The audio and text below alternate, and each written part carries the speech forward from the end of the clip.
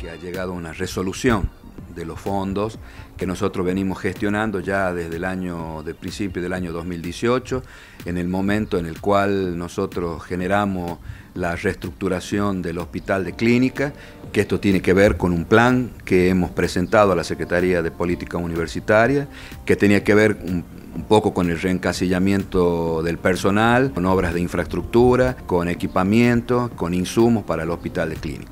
Esto era eh, un proyecto que estaba alrededor de los 60 millones de pesos y que eh, en el presupuesto 2019 esto no había estado contemplado.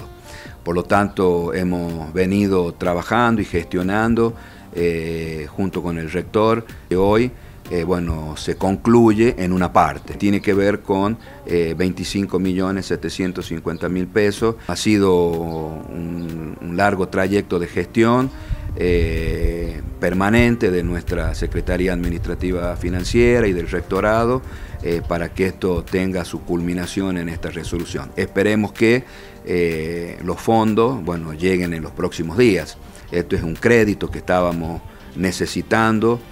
como lo decía, estábamos con grandes dificultades para el pago salarial en el último mes del año y esto da la tranquilidad de que bueno, esto va a poder ser cumplido queda agradecer eh, en este caso al director de presupuesto universitario y por supuesto al secretario de políticas universitarias y además a todos aquellos que de una u otra manera han podido colaborar para que esto eh, bueno, tenga su buen fin, digamos. Por supuesto que eh, nosotros estas inversiones ya las hemos venido haciendo desde el año 2018 porque el plan no se paró. Hoy viene a subsanar eh, en parte lo que nosotros ya eh, habíamos invertido.